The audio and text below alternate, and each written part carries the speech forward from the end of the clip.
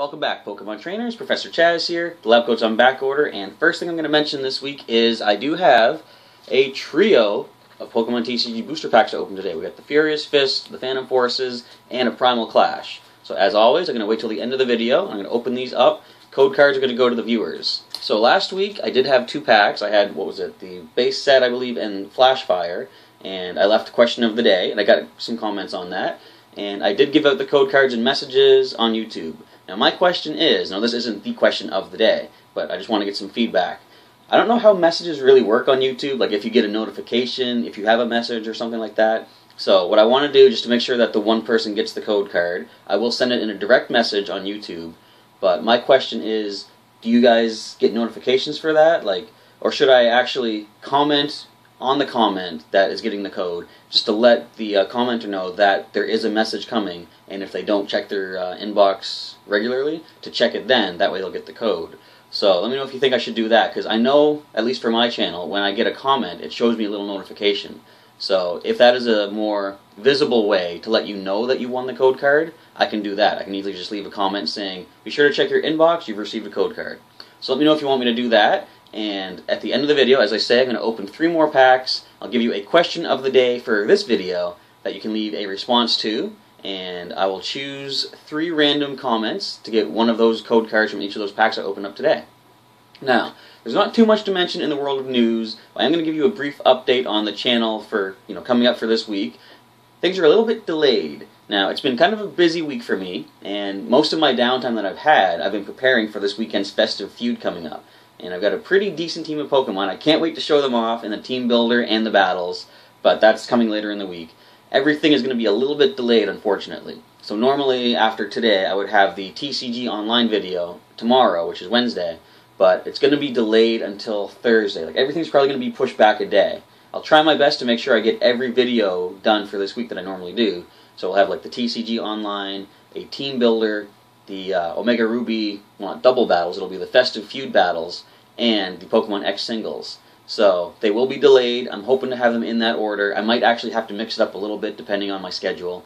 But look forward to that. We are gonna I'm gonna do my best to get the TCG online, the Team Builder, Festive Feud, and Pokemon X singles. trying to get them out. So if they are delayed by a day, the schedule is gonna look like Thursday will be the TCG, Friday we'll have the Team Builder, Saturday is the Festive Feud battles, and then Sunday will be the X singles. Now, I think that's going to work out pretty good too, because I watch other YouTubers that do online battles. They will have team builders, and then they will have battles with those teams.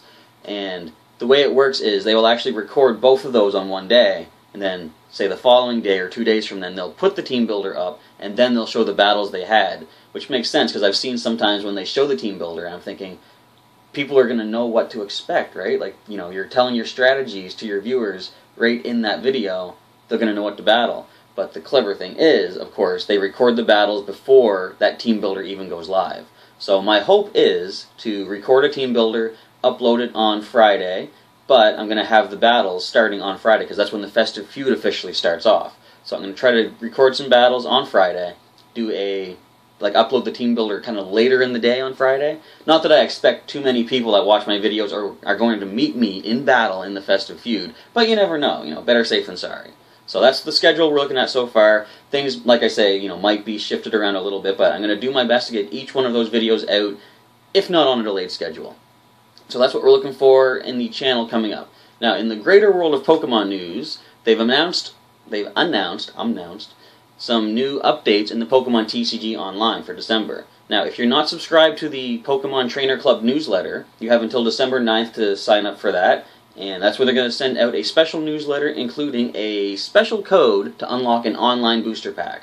So, you know, why not sign up? Like, I, I thought I was signed up, but then I saw that notice and I thought, I don't ever get emails. So I went into my account. All you gotta do is click the checkbox to opt in for newsletter email things and you'll get an online code card, or not code card, an online code to unlock an online booster pack. And they say there are special challenges giving cool rewards all throughout the month of December. So I don't know if those are, they're probably not the, the latter challenge, but usually you get the uh, daily challenge saying knock out X number of Pokemon with your dark type Pokemon. So you'll probably get to see some of those. And I should clear up my older ones so I can actually get those so I'll look into that coming up too. But anyways, special challenges, and then from December 21st to January 4th, the reward of trainer tokens that you get for winning battles is going to be doubled. So it's a little bit of a holiday gift, I think it is. So uh, from that time period, do your battles, try to get some victories, and you'll get double the reward tokens, which you can then spend on, you know, uh, avatar costume stuff, more online booster packs. And speaking of avatar stuff, um, nope. First of all, December 25th to January 4th says you can log in to the uh, Pokemon TCG online, get a passcode for a special bonus. Now, they don't elaborate on what that special bonus is, but you get the word special, get the word bonus, put them together. Who doesn't want that? So we're going to find out what that is together, I suppose.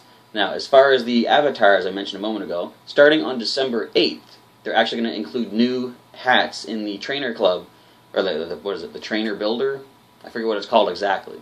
But new holiday hats, which you can spend your tokens on, and it shows a, uh, a Santa hat and a Christmas tree hat. I don't know if anything will ever truly replace the Charizard hat that I have both IRL and IG in game. I don't know if that's a abbreviation or acronym people use, but anyways, new hats for uh, holiday season. All right, so the only other thing I'm really going to mention for this week is, like I said, there's not much to mention. The new Pokemon game, Pokemon Picross, has come out. And when I first heard about this, I thought that's pretty cool because I played Mario Picross on the Game Boy way, way back. I forget how long ago that came out. But if you don't know what Picross is, it's essentially th- think of it like pixel art. I have an example? Think of it like I just knocked them all over, but Squirtle. So this is basically pixel art. It's where you take an in-game sprite or something like that that has like you know the little dots, little blocks, and you have an image that represents something. So for example, Squirtle. Now, Picross gives you a grid of you know certain number of squares. Some of them are as small as five. What was it? Five by five? No, I think it was seven by seven was the smallest. But you get a grid of blank squares, and along the top edge, the top edge, along the edge and the top, it shows you a series of numbers. I'm to put you down, Squirtle. And the number represents how many filled-in blocks are supposed to be in that column or in that row. And using you know process of deduction and you know, elimination, things like that, you figure out exactly which blocks to fill in. You can also mark other blocks with an X to indicate that you are not supposed to fill that in. So it's a pretty cool puzzle game, and Mario's Picross back in the day was actually really interesting. I really like puzzle games like that, and they introduced that into the world of Pokemon. Now, what's really neat with this, though, is as you complete each puzzle, and each one is a picture of a Pokemon, that Pokemon you can actually bring with you into the next puzzle, and it gives you a special ability that lets the uh, you know makes the puzzle a little bit easier. You can have possibly you know some of the squares will be revealed. It will show you if uh, those numbers along the uh, edge and the top, if you can fill in like a hole or a like an X to help you figure out the rest of the puzzle. It'll highlight it blue, so you know there's something you can do in that row to possibly lead you into the right direction for the rest of the puzzle. So it's pretty cool, and it's actually a free download on the eShop if you go there. It's a free, you know free to download, free to play. They do have in-game purchases because to unlock more things in the game, you get these gems called Picrites. And if you're going to play this game, I'm going to say hold on to your Picrites because I've kind of slightly ruined the game temporarily. I spent my Picrites on things earlier of you know trying to you have like an energy bar basically, which is kind of like in Pokemon Shuffle, the hearts the energy bar determines how much you can play that that day or for a few hours at least. Once you drain the energy bar, it says you have like an hour timer letting you know when it's going to fill back up again. So you can uh, use the Picrites that you get to refill that energy bar. You can also use the Picrites to unlock other areas. You can unlock more slots in your Pokemon team. And what I actually did, now, on occasion you'll get a notice that there is a rare Pokemon in an area. And that happened for me, and it was Manaphy and I was trying to fill out the puzzle. And every time you fill in one of the blocks in a puzzle, it takes one of your energy points away. And I believe you start at 100 energy. You can build it up to 200 if you spend your Picrites on it. So, as it happened, or just so happens, I was doing the Manaphy puzzle and I kept messing up. You know, I'm not perfect at the puzzle games, but that's what I like about it. It's a challenge. So, I ran out of energy, and they said in the, the current puzzle, if you spend X number of Picrites, you can refill your energy meter. I thought, all right, I've come this far with Manaphy. I'm going to do that because I've almost completed the puzzle. But as it turns out, I didn't have enough Picrites left to unlock the next area because if you spend an increasing number of Picrites each area, you'll get into a new area. And I'm currently waiting to get 80 Picrites, and I've got 70 something right now. So every day you can do like a daily challenge, which will give you a small number of Picrites. Completing challenges in the puzzles will also get you Picrites as well. Or, as I said, for in-game purchases, you can go to the eShop and spend some of your you know account funds to get some more Picrites. And I'm trying not to do that. I'm going to wait and see how far the in-game rewards of Picrites can get me. But there is that option. And the pricing isn't too bad, really. You can get, I forget what it was, but you can get 200 Picrites for a dollar something, I think it was. So, and then as you get greater number of Picrites, the overall amount kind of, you know, minimizes. So, I think it was like the next one was 600 Picrites for three, maybe four bucks. I can't remember exactly. But anyway, all that being said, it's a really fun game, and if you like puzzle games, I would definitely say check it out, download it. It is a free download, free to start into. And if you like it, who knows, maybe you want to spend some money and get some Picrites and advance yourself further into the puzzles. So that is actually everything I'm going to mention for the news update. We're going to now go into the booster packs of the Flash, not Flashfire, of the Furious Fists, the Phantom Forces, and the Primal Clash. We'll see what I get. I'm hoping for a dive ball, maybe another Swampert. Hoping for good stuff from you guys too. Don't I want don't I don't want to discount you guys. All right, so let's open these up, and I'll give you this week's question of the day for you to answer, and we'll go from there. Let's begin. It is time now to open up these three booster packs, starting with this week's question of the day, and that's going to be since this is the season of giving, what are you looking forward to getting for this holiday season? What kind of a present or you know anything along those lines? Like, what are you most looking forward to getting? So let's open up. I'm going to try and slide out the code card first before we see anything else, which is tricky. I like to not even see the first common card in the pack. And is it facing the other way? Okay. So this is the Furious Fist booster pack. That's the code card. And just answer that question of the day. And I didn't mention, but leave the hashtag QOTD in your comments so that I know your response applies to the question of the day, which is what are you most looking forward to receiving this holiday season? As for what I'm receiving this holiday season, let's see what we get in the pack. So there is a Minun, Torchic, Clefairy, a Shroomish, a Pancham. Uncommon start with a Fighting Stadium, another Pancham, the other one that can evolve if there's a Dark type on your bench, a Tool Retriever. Now it's actually pretty interesting, I haven't really mentioned this I think, but if you are using EX Pokemon and your opponent attaches any of the Team Flare Hyper Gear to it, you can actually use the Tool Retriever to get rid of it. Now it actually says here, choose up to two Pokemon Tool cards attached to your Pokemon and put them into your hand.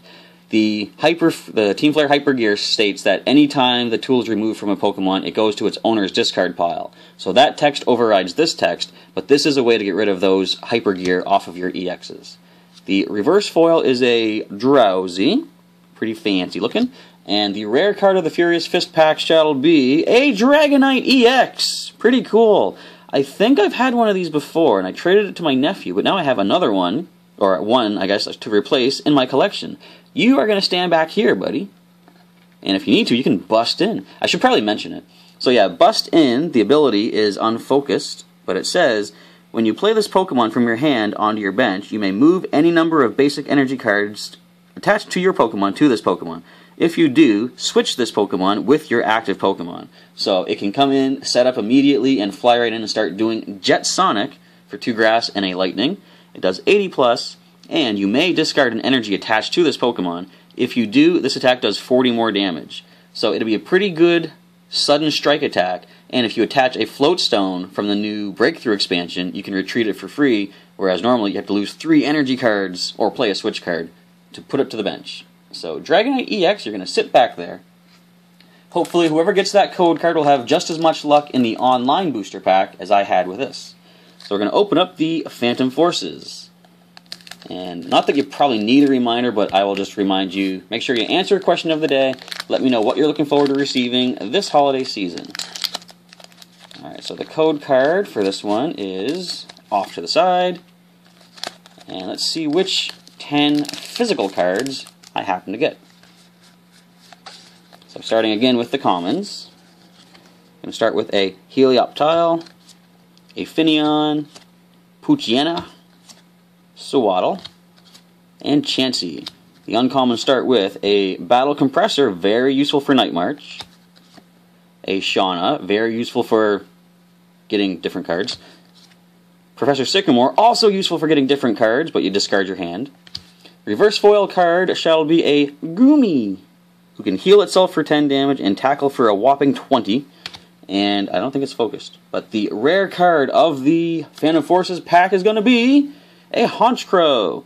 Hypnoblast does 20 damage and puts the opponent's Pokemon to sleep. And Nightmare Mambo does 60, plus, if the opponent's active Pokemon is asleep, 60 more. This actually works pretty well with the Malamar EX that came out in this set, because Malamar EX says anytime you attach an energy from your hand to it, you may put your opponent's Pokemon to sleep. Honchkrow can then do its Nightmare Mambo for double damage. Alright, so the final pack. This is the one I have the high hopes for. If I were to answer my own question of the day, it would be I would like to receive a dive ball this holiday season. More specifically today. But we'll see what fate has in store for me. So there's the code card. And once again, leave your response to the question of the day, and you have a chance to win one of these three online TCG code cards. Okay, come on. Is the luck with me this time? I haven't pulled a dive ball in forever. Skitty, Horsea, Spinda, Nosepass, and Trapinch. Okay, the uncommons begin. Here's where the trainers come into play.